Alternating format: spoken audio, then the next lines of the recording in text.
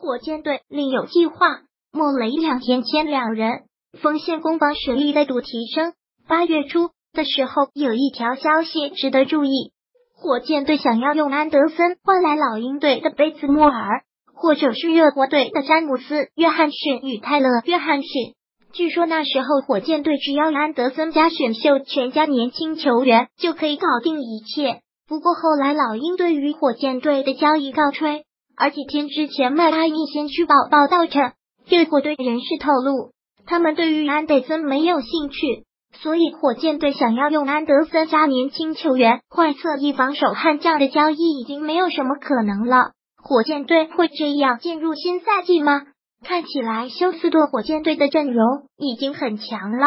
至少在西部，像是湖人、马刺、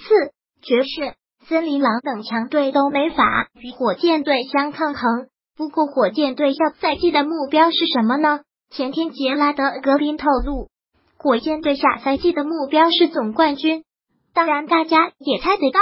毕竟火箭队上赛季距离总冠军是那么近，而且新赛季他们还会为这一目标继续前行。只不过，没有侧翼防守悍将的火箭队，下赛季即使实力强于湖人、马刺等队。但是他们还是打不过勇士队，毕竟只有总冠军才会被记住，像什么总亚军、进入西部决赛之类的，完全没有什么意义。而火箭队唯一的对手勇士队，可比现在火箭阵容强得多，尤其是他们的得分好手杜兰特、库里与汤普森，所以在没有巴莫特与埃里加的情况下，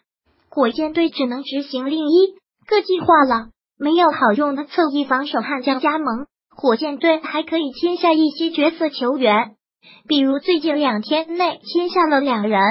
巴西防守悍将卡波科洛，意大利锋卫摇摆人亚历山德罗真迪莱。这两人没有什么名气，而且都是外籍球员，相信一般总看 NBA 的球迷对此二人也不会太过熟悉。其实卡波科洛擅长的是防守，他的三分球命中率上赛季。在国王队只有百分之二十，但是火箭看中的是他的防守。恰波科洛只有二十二岁，身高两米零六，体重为九十公斤，拥有二点三一米的臂展，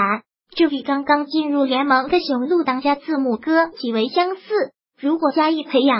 夏波洛克可以成为一名不错的侧翼防守球员。而真蒂莱只有二十五岁，他的进攻能力非常不错。上赛季在意大利联赛博洛尼亚队时场均有十六点五分、六点二个篮板和三点四次助攻。真蒂莱的防守能力一般，但是他的投射能力很出色。真蒂莱有一定的篮板能力，身体素质比较好。